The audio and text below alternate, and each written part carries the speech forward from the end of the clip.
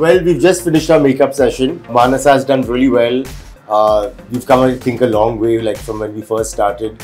And uh, she's really proven to be hardworking and applied all the techniques which I've taught her. And I've been quite firm and strict about a lot of things. So it's been a good journey so far.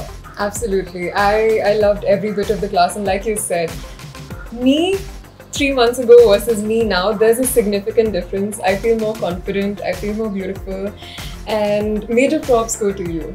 Your tips and tricks will go a long way, and I cannot wait to really further my journey in the world of makeup with all your learnings. In terms of teaching makeup, it's not just with the Miss World contest that is, you know, coming. I've tried to teach Mansa things that she'll be able to take on with her for the rest of her life because what you learn over here is something you can actually kind of do, modify, change and apply to various situations because I think that is what's really important about any kind of training session, you know. It's not just one thing but it should kind of prepare you for life in general. Right, absolutely. And this is just the beginning.